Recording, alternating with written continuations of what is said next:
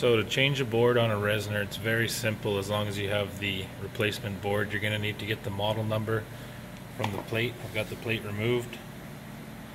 Usually it'll have the make and model. You take that to your plumbing wholesaler or heating supply shop. Tell them you need a new board. And it's very simple. You want to make sure that your power is off. Always want to confirm that there's no power with a tester. And then you can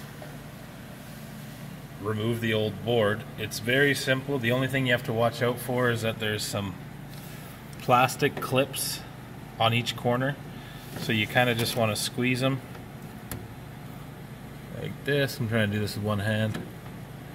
A little squeeze and it should just pop out like that. I've already got this one done, but same thing on all the corners. And then once you got the whole board loose and out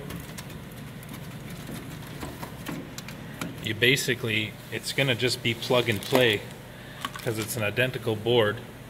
So if you're not sure you can just do one wire at a time. So unplug your main harnesses get some room to work with the board. Take your new board and it's exactly the same. So you're going to take your EAC wire, plug it on, EAC on the new board, and so on and so on.